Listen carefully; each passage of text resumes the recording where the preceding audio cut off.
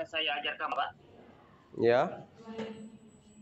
Pertama-tama silakan Bapak masuk dulu ke aplikasi WhatsApp-nya. Hmm. Bapak screenshot barcode pengaktifan harga promonya yang saya kirim melalui WhatsApp Bapak. Hmm. Itu ada foto barcode yang saya kirimkan silakan Bapak screenshot. Hmm. Silakan di screenshot dulu Bapak. Nah ini kan sudah terkirim kan? Iya, ini pada saat ini Bapak harus diverifikasi dulu untuk harga sesuai yang Bapak bayar. Hmm. Dikarenakan ini diskon besar-besaran Pak, diskon eh, 60 sampai 70 persen gitu. Jadi harus diverifikasi dulu. Berarti barcode-nya ini dimasukkan ke aplikasi TikTok gitu. Eh, Bapak tadi bayar pakai apa? Pakai GoPay saya.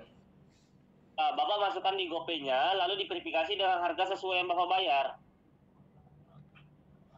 Jadi silakan Bapak screenshot dulu, lalu Bapak masuk ke aplikasi GoPay, kita Hmm. ajarkan satu-satu. Bentar, bentar, bentar. Silakan Bapak ya silakan di screenshot dulu. Udah, udah saya simpan gambarnya. Gambar ini kan eh, pengiriman itu. Itu barcode yang di WhatsApp Bapak, itu ada barcode yang baru-baru saya kirim. Barcode. Lah iya barcode pengiriman GNT kan? Bukan yang itu Bapak, itu ada pesan yang saya kirim yang ini. Coba Bapak lihat WhatsApp-nya.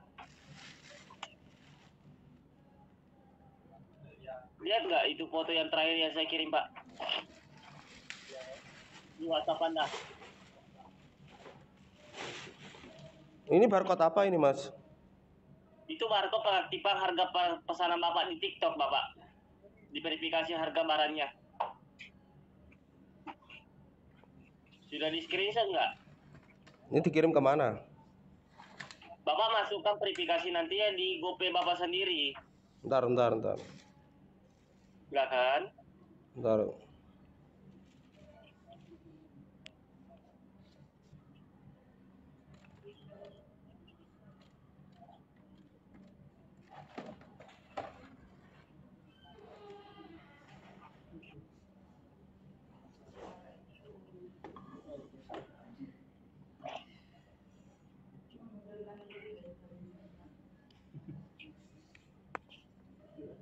Terus setelah itu nanti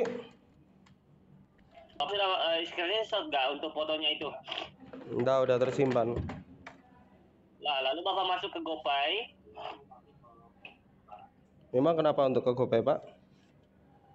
Nah, untuk diverifikasi Bapak, untuk harga sesuai yang Bapak bayar.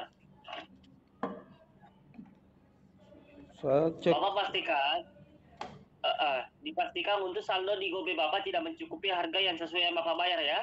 Kalau bisa Bapak kosongkan dulu untuk saldo di GoPay Bapak. Hmm? Kalau bisa, silakan Bapak pastikan saldo di GoPay Bapak tidak mencukupi harga sesuai yang Bapak bayar. Cukup kok kemarin saya bayar.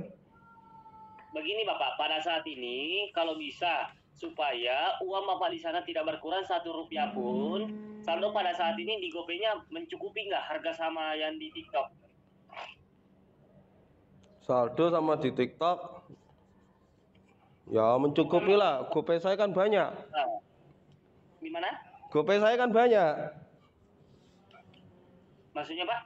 Ya mencukupi lah, Pak. Sisa saldo sekarang maksudnya. Ya, sisa saldo sekarang di GoPay-nya itu tidak akan terpotong Bapak ya. Jadi Bapak silakan tekan di scan. Hmm. Terus setelah di-scan nanti, Pak. Di situ muncul apa? Silakan Bapak upload gambarnya. Gambar barcode-nya di GoPay-nya. Oh. Kalau nanti gimana ini saya masih upacara, Pak?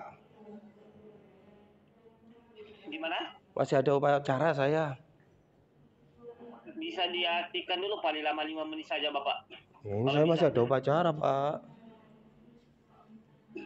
Jadi ini bagaimana Bapak? Mau diaktifkan atau bagaimana? Dikarenakan ini barangnya juga ikut pengiriman hari ini. Silakan Hmm. Bapak aktifkan dulu sebentar. Oh. Ya nanti aja, Pak, kalau gitu. Sudah sudah terpotong kok, aman kok. Bukan masalah terpotongnya Bapak. Bapak tidak disuruh membayar lagi. Bapak cuma disuruh aktifkan verifikasinya yang sesuai harga barangnya. Hmm, itu Pak ya. Aduh, saya kok belum belum tahu sih Pak. Emang TikTok kayak gitu tuh Pak? TikTok Shop itu Pak? Iya. Jadi ini Bapak mau diaktifkan atau tidak mau? Ya, Aku bingung ini Pak, masih ada waktu ya Bapak maksa ya?